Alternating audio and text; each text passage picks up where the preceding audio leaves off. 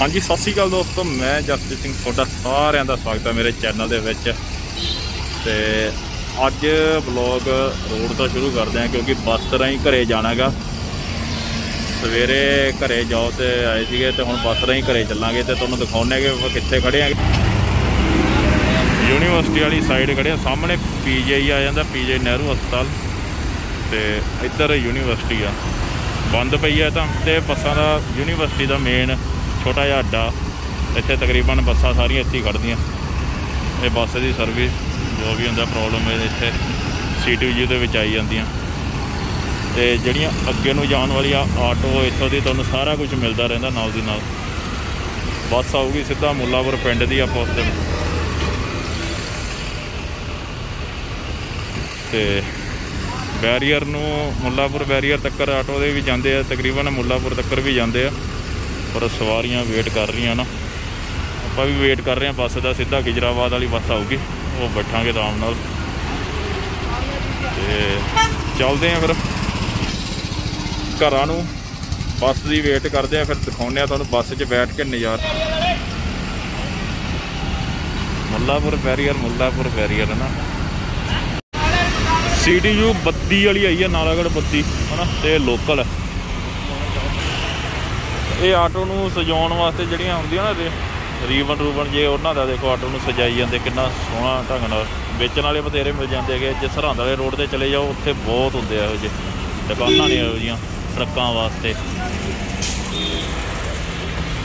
ਹੁਣ ਤਾਂ ਕੋਵਿਡ ਕਰਕੇ ਇੱਥੇ ਰਸ਼ ਬਹੁਤ ਘਟ ਗਿਆ, ਨਹੀਂ ਤਾਂ ਰਸ਼ ਇੰਨਾ ਹੁੰਦਾ ਨਾ, ਕਿਉਂਕਿ ਯੂਨੀਵਰਸਿਟੀ ਬੰਦ ਹੈ ਪੀਜੀ 'ਚ ਵੀ ਓਪੀਡਾ ਬੰਦ ਨੇ। ਤਾਂ ਕਰਕੇ ਓਪੀਡੀ ਜਦੋਂ ਖੁੱਲ ਜਾਣਗੇ ਨਾ, ਫਿਰ ਜ਼ਿਆਦਾ ਰਸ਼ ਹੋ ਜਾਂਦਾ।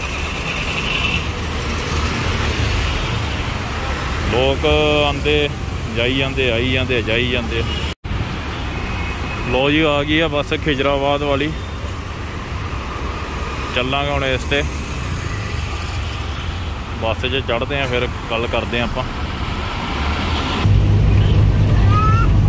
ਲੋ ਜੀ, ਬੱਸ ਦੇ ਨਜ਼ਾਰੇ ਵੀ ਲੋ ਕੰਡਕਟਰ ਬਣੀਆਂ ਟਿਕਟਾਂ। ਸਵਾਰੀਆਂ ਨਾਲ ਫੁੱਲ ਹੋਈ ਪਈ ਆ। ਖੁਦਾ ਆਪਦੀ ਸੇਫਟੀ ਰੱਖੋ ਤਾਂ। ਚਲੋ ਲਈਏ ਨਜ਼ਾਰੇ ਦੇ ਆ ਫਿਰ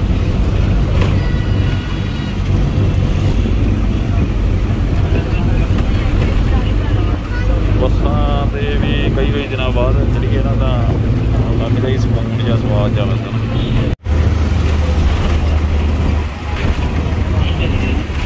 ਕੋਈ ਸਕੂਲ ਬੈਰੀਅਰ ਤੇ ਆ ਗਏ ਬੈਰੀਅਰ ਤੇ ਕੰਮ ਕਰ ਜਾਂਦੇ ਆ ਨਾ ਇਹਨਾਂ ਤੋਂ ਬਚ ਕੇ ਰਹੋ ਥੋੜਾ ਜਿਹਾ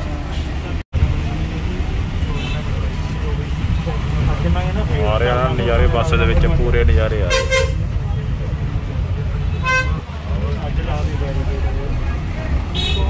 ਬਹੁਤ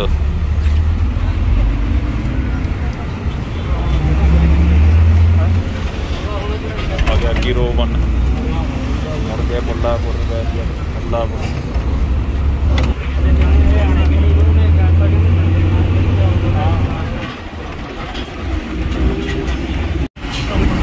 ਲੋ ਵੀ ਆ ਗਏ ਮੁੱਲਾਪੁਰ ਮੁੱਲਾਪੁਰ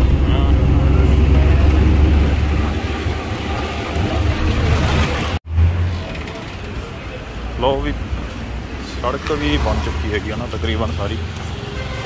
ਹੁਣ ਬੜੀ ਉੱਚੀ ਹੋ ਗਈ ਹੈ ਰੋਡ। ਤੇ ਲੋਕਾਂ ਦੀਆਂ ਦੁਕਾਨਾਂ ਜਿਨ੍ਹਾਂ ਦੀ ਨੀਵੀਆਂ ਉਹ ਵੀ ਉੱਚੀ ਕਰਨ 'ਚ ਬੈਠੇ। ਹੁਣ ਥੋੜੀ ਲੋਕਾਂ ਨੂੰ ਆਪਦੀ ਸਵਾਈ ਸੈੱਟ ਕਰਨੀ ਪੈਣੀ ਹੈ ਜਿਵੇਂ ਆਹ ਦੁਕਾਨੀ ਵੀ ਆ। ਕੱਪੜਾ ਕੱਪੜਾ ਕੱਪੜਾ ਹਨਾ? ਆ ਜਾ ਲੈ ਲੈ। ਗਰਮੀ ਬਹੁਤ ਹੈ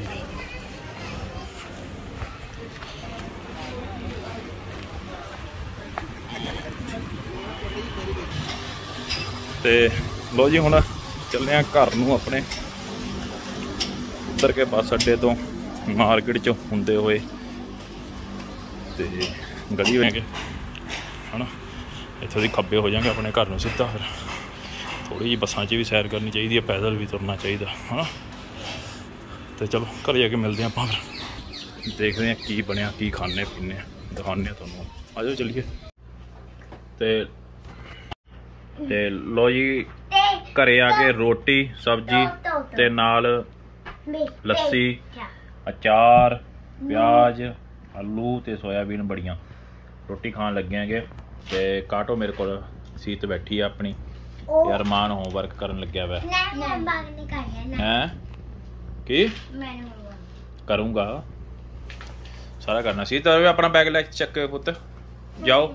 ਹੁਣ ਇਹਨਾਂ ਨੂੰ ਹੋਮਵਰਕ ਕਰਾਉਣੇ ਆ ਚਲੋ ਰੋਟੀ ਖਾ ਕੇ ਕਰਦੇ ਆ ਗੱਲ। ਇਤਨੇ ਵੀ ਪੱਗ ਬੰਨ ਲਈ ਹੈਗੀ। ਭੰਗੜਾ ਪਾਈ ਜਾਂਦੀ ਹੈ ਇਹ।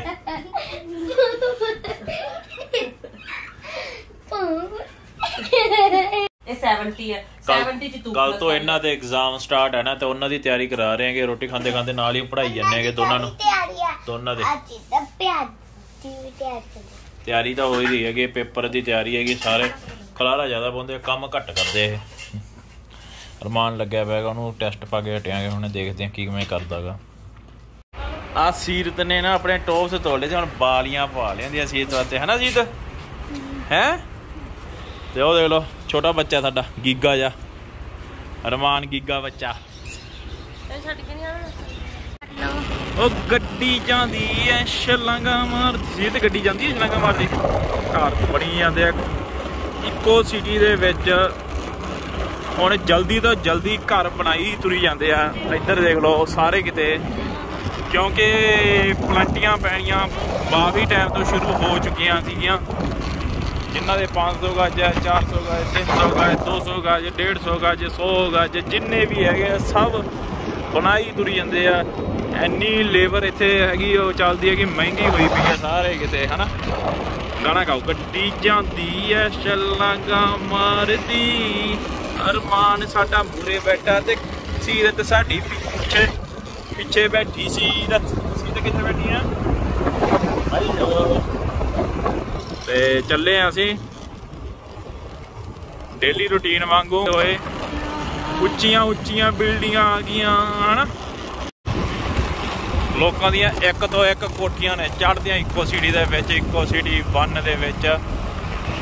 ਚੌਂਕ ਤਿੰਨ ਬਣਾਏ ਹੋਏ ਆ। ਦੂਜੇ ਚੌਂਕ ਤੇ ਪਹੁੰਚ ਚੁੱਕੇ ਆ। ਰੋਡ ਇਧਰਲੇ ਪਾਸੇ ਪੈਟਰੋਲ ਪੰਪ ਆ। ਅੱਗੇ ਜਾ ਕੇ ਖੱਬੇ ਹੱਥ ਮੋੜ ਤੇ। ਤੇ ਛੋਟੀਆਂ ਛੋਟੀਆਂ ਰੇੜੀਆਂ ਵੀ ਇੱਥੇ ਖੁੱਲ ਚੁੱਕੀਆਂ ਨੇ, ਹਨਾ? ਤੇ ਸਾਹਮਣੇ ਬਿਲਡਿੰਗਾਂ ਦੇ ਸੀ। ਤੇ ਚੱਲੇ ਪਾਰਕ ਦੇ ਵਿੱਚ। ਮਿਲਦੇ ਆ ਫਿਰ ਪਾਰਕ 'ਚ, ਆਜੋ। ਇੱਥੇ ਨਾਕਾ ਲੱਗਦਾ ਹੁੰਦਾ, ਧਿਆਨ ਨਾਲ ਬਚਿਆ ਕਰੋ ਇੱਥੇ। ਤੇ ਇਹ ਜਾਂਦਾ ਮੈਡੀਸਿਟੀ ਰੋਡ, ਸਿੱਧਾ ਵੱਡਾ ਸਾਰਾ ਰੋਡ ਹੈ। ਆਈਸਕ੍ਰੀਮਾਂ ਵਾਲੀ ਰੇੜੀਆਂ ਖੜੀਆਂ ਨੇ ਇੱਥੇ, ਹਨਾ। ਆਹ ਦੇਖੋ ਘਰ, ਤੁਸੀਂ ਘਰ ਦੇਖੋਗੇ। ਕਿਆ ਬਾਤਾਂ ਨੇ 200 ਗੱਜ ਜਮਾ ਬਿਲਡਿੰਗਾਂ ਦੇ ਨੇੜੇ ਪਹੁੰਚਣ ਵਾਲੇ ਹੋ ਚੁੱਕੇ ਆ। ਮਕਾਨ ਦੇ ਪੱਥਰਾਂ ਦਾ ਕੰਮ ਚੱਲੀ ਜਾਂਦਾ। ਸਿਕਿਉਰਿਟੀ ਗੇਟ ਵੀ ਲੱਗ ਚੁੱਕੇ ਆ ਇੱਥੇ। ਬਹੁਤ ਵਧੀਆ ਕੰਮ ਹੋ ਗਿਆ, ਤਾਂ ਹੀ ਇਹਨਾਂ ਦਾ ਭਾਅ ਵਧ ਗਿਆ। ਗੇਟ ਦਾ ਸਿਕਿਉਰਿਟੀ ਗਾਰਡ ਦਾ ਰੂਮ ਤੇ ਅਸੀਂ ਆ ਚੁੱਕੇ ਹਾਂ। ਉਹ ਗਾਰਡ ਬੈਠੇ ਹੈਗੇ।